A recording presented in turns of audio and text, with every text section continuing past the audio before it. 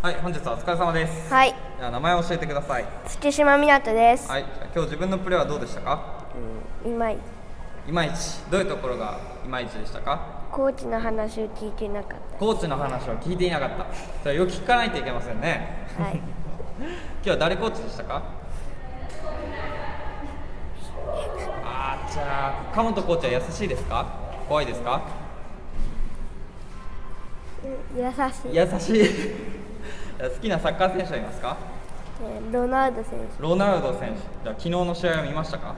手。はい、おじゃあロナウド選手みたいになるためにはどうしたらいいと思いますか、練習する。うん、練習をたくさんするあとは話をよく聞くことですねはい、はいじゃあ最後にお父さんお母さんに感謝の言葉をお願いしますいつも試合で応援に来てくれてありがとう。はいじゃあ本日はありがとうございましたありが